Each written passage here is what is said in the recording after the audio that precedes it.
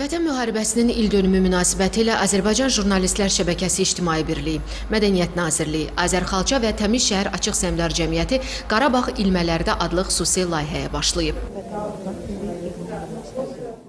Səyyar layihə çərçivəsində xalqımızın birliyinin rəmzi olan Qarabağ xalçasına hər bir vətəndaşın bir ilmə vurması təklif olunur.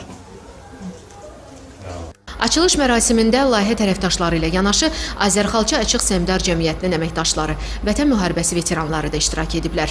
Mərasimdən sonra xalçaya rəmzi olaraq ilk ilmə vuranlar da məhz həmin əməkdaşlar olub.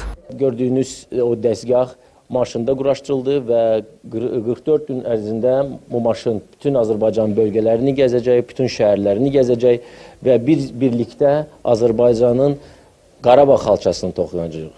Layihə müddətində xüsusi video çarxlarla yanaşı qısa metrajlı filmlərin də hazırlanması nəzərdə tutulub.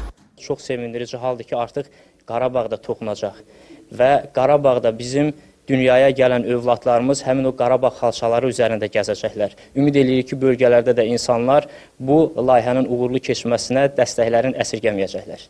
Qeyd edək ki, layihə komandası oktyabrın 1-dən bölgələrə doğru yola düşəcək və sonda 8 noyabr Zəfər günündə Qarabağ xalçası ictimaiyyətə təqdim olunacaq.